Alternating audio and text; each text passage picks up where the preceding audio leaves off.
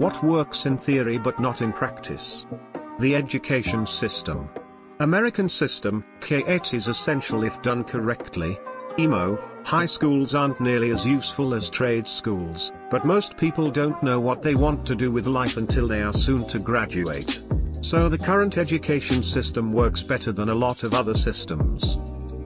I was recently shower thinking about how they should have a university track and a technical track when you get in high school. The only problem is the inherent social stratification that comes with that. The side effect could be more realistic expectations, better engagement from students who don't enjoy academia as much, and general better preparation for our labor force. Seriously, need to destigmatize tech schools. Communism for starters. Is communism for starters the same as communism for dummies, employees? Honestly, nothing. If the practice is so divergent from the theory, then the theory has failed to consider very important things and it's not a working theory either. For example, people say this about communism all the time. That it works in theory but things like human greed and laziness or whatever else get in the way. If your socio-political system fails to take into the account human nature, you know, the people it organizes, then it's not even a good theory. Same applies to virtually all of these things. My dating advice.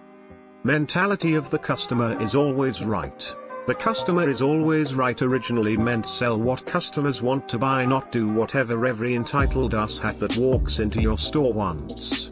Maths works beautifully in theory, in practice, it makes certain physically impossible assumptions. Majority of theoretical math is completely pointless. Greater than pointless the rest is geometry. Civil discussion on the internet, fuck you. You're a filthy liberal. Asking your crush out. Works though. Either you get a date, or can get on with your life. Absolute win.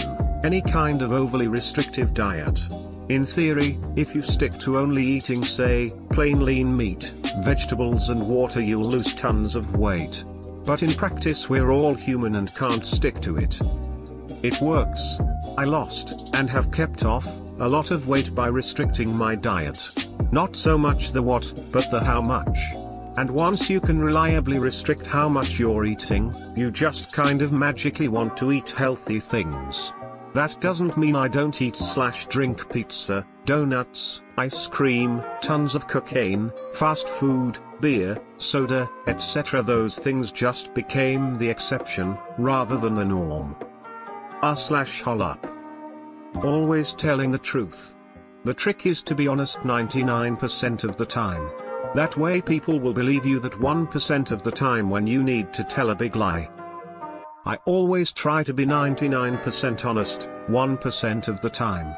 That way, my friends are like damn, Roger that kid is a lying sack of shit, but maybe he isn't as bad as we thought. Friends with benefits. The three seashells. Theory and practice are the same in theory, but not in practice edit, OMG, my first silver, thanks. But what if you had a practical theory and you practice it in a theoretical way? Then you've practically theorized that your praxis is theoretically impractical. Deleted. Communism. Most of the opinions in r slash a myth arsehole. Am I the arsehole for thinking r slash a myth arsehole is a bunch of assholes? Utter. Validation post. Personality tests. They're fun little things to do in your spare time or as a work event, but the way some people take them so seriously is embarrassing. Also the point of them is to tell you aspects of yourself to help you better cope with others who are the opposite of you. Instead people run around clutching their I'm an INTJ I'm introverted leave me alone forever I should never have to do any public speaking. Pearls. I say this as someone who received the INTJ result a while ago. I think this is part of the reason so many of the newer age personality tests focus on emotional intelligence rather than personality aspects aka who can lead, who can analyze the details, and who can negotiate between the two, etc. I agree. I find the MBTI to be a useful tool for helping one achieve more self-awareness. That said, the goal of the tool should be to help you see where you can grow in other areas.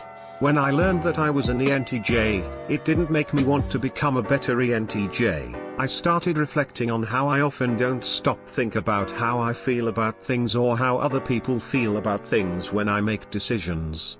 It also made me want to focus more on details and to be more spontaneous. Two-party political systems. This doesn't even work in theory though. Hot tub sex. Wet skin on wet skin, super slippery. Wet penis in wet vagina, somehow not slippery at all. There's a reason why water is used as a lubricant in absolutely nothing. Religion. On paper everybody is part of a community of people focusing on bettering themselves and helping others. In practice people use it to divide, control, and hurt others. It's not even religion it's everything. It's bad humans attempting to impose their will on someone else. That's what I believe. I'm not religious by any means but I can't blame religion for extreme wrongdoings in the world. It's the extreme adherents who greatly misinterpret the messages of what slash who they believe in. For example, it's not like the Quran is telling extremist Islamic groups to inflict violence upon apostates because they must purify the world. It's the extremist Islamic groups telling themselves that. Those select groups are 100% misinterpreting the message of their faith and unjustly imposing their will on others. Communism slash socialism. Sounds great until you encounter the logistics of mass-scale economics without pricing information. Zipper merging, in theory works amazingly. In practice it would mean that everyone has to do it for it to work as it does on paper or example. Drivers are selfish dickheads so it will never be performed by enough people at the same time to work, especially in major cities. It works in Germany, it's properly taught and encouraged, so it works. In the US, nobody is taught and you're expected to do what you want when merging. I mean, it's definitely taught in the US and mentioned in a lot of states' Department of Transportation websites and the driver's handbook. It's just that nobody cares. Thinking you can fight when you've had no training. What the fuck did you just fucking say about me, you little bitch? I'll have you know I graduated top of my class in the Navy SEALs, and I've been involved in numerous secret raids on Al Qaeda, and I have over 300 confirmed kills. I am trained in guerrilla warfare and I'm the top sniper in the entire US Armed Forces. You are nothing to me but just another target. I will wipe you the fuck out with precision the likes of which has never been seen before on this earth, mark my fucking words. You think you can get away with saying that shit to me over the internet? Think again, fucker. As we speak I am contacting my secret network of spies across the USA and your IP is being traced right now so you better prepare for the storm, maggot. The storm that wipes out the pathetic little thing you call your life. You're fucking dead, kid. I can be anywhere, anytime, and I can kill you in over 700 ways, and that's just with my bare hands. Not only am I extensively trained in unarmed combat, but I have access to the entire arsenal of the United States Marine Corps and I will use it to its full extent to wipe your miserable ass off the face of the continent, you little shit. If only you could have known what unholy retribution your little clever comment was about to bring down upon you, maybe you would have held your fucking tongue. But you couldn't, you didn't, and now you're paying the price, you goddamn idiot. I will shit fury all over you and you will drown in it. You're fucking dead, kiddo. Capitalism, the sad thing is it's one of the least broken systems that has been tried. It works quite well until some individuals win and start using their money-making feedback loop start fucking with things.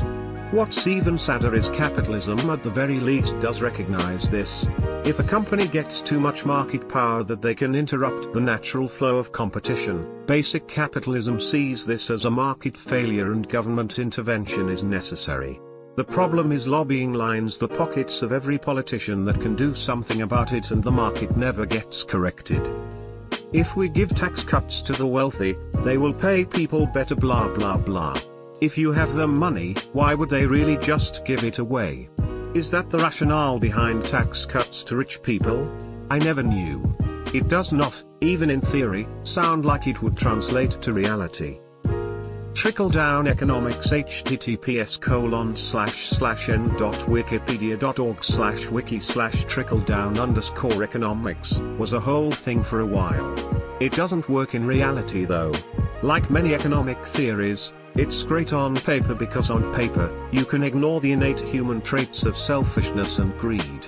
In reality, businesses will always pay as little as possible for labor and goods. So cutting the taxes on businesses in hopes that they'll raise wages doesn't work, as the business owner is just going to pocket that money. Some argue that cutting taxes on businesses means that the business owners will start spending more, which will boost the economy.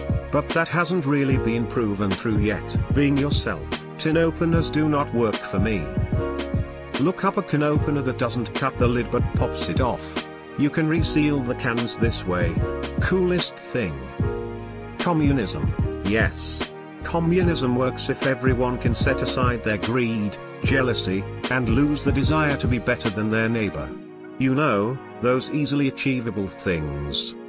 You haven't met my neighbor. Guy's a piece of shit. Simple fake it till you make it confidence. It's one thing to stop being compulsively self-deprecating, but just acting confident doesn't really work to build your confidence. Insincere confidence is just as off-putting as palpable low self-esteem. I really think you need at least one thing, and it can be a small one, to feel confident about so you can call on that to help you feel confident in other areas of your life.